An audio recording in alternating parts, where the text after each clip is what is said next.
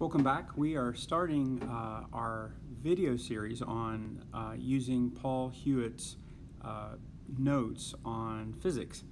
I think he does an excellent job and it'll help us in our study uh, with our textbook.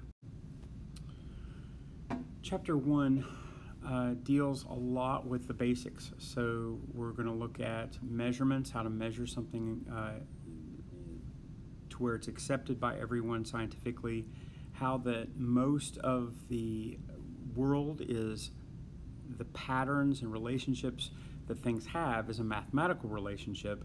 And then how do you go about treating those relationships scientifically? So what is the scientific method? Uh, what is your attitude when you're approaching science? And then what science is and what science is not. So scientia is latin for know something okay? It's the word for knowledge so if you know something about the world, then you have learned science. It's essentially the body of knowledge that everybody in the world accepts um, about a certain thing. Does it mean it's true? No, because for for ages and ages, um, most people thought one thing or another that later on we developed a little more nuance or or found that it was just plain wrong what we had previously accepted. So it's ongoing, it always changes. And science is a very humble thing because even though that you make an assertion, very strong assertion, this is true. Um, it doesn't necessarily mean it's true, it's what people understand at the time. Also, there are um, there are disputes within the scientific community and others that that would say one thing is more probable than another, and it that's a healthy thing to, to talk and, and even debate and argue. This is a quote by Lord Kelvin. He was um, the head of the British uh, scientific community in the into the 1900s.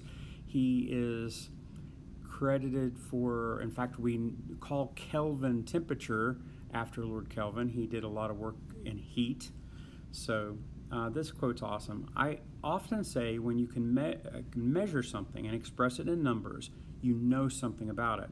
When you cannot measure it, when you cannot express it in numbers, your knowledge is out of a meager and unsatisfactory kind. It may be the beginning of knowledge, but you have a scarcity in your thoughts advanced to the stage of science, whatever it may be. So, primarily, science is something that you can test and measure. And then that data sits there and stares at you and makes you deal with it.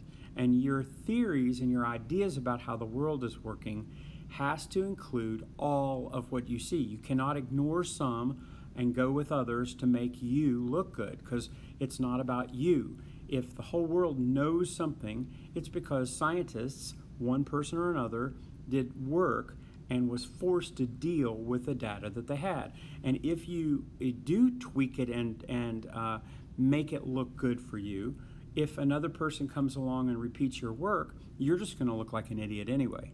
Okay, so it's a very humble thing. So measurement is interesting. There's there's way you can directly measure things, and then there's way you can indirectly measure things, and then there's some things that can't be measured, but you can figure them out. The distance to the sun, okay, can be determined. In fact, it was very, very accurately determined um, uh, before Christ.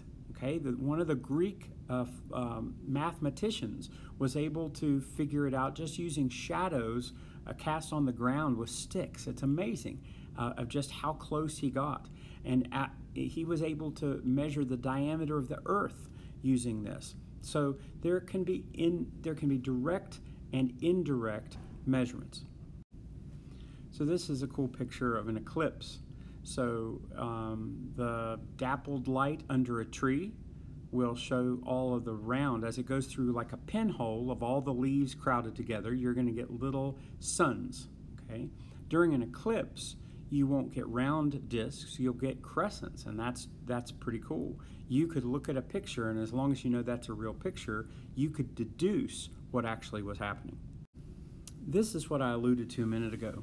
Eratosthenes okay, uh, which was a couple hundred years before Christ in Greek, uh, in Greece, was able to very, very accurately say the diameter of the earth. Now that means that that these ancient people knew that the earth was a globe.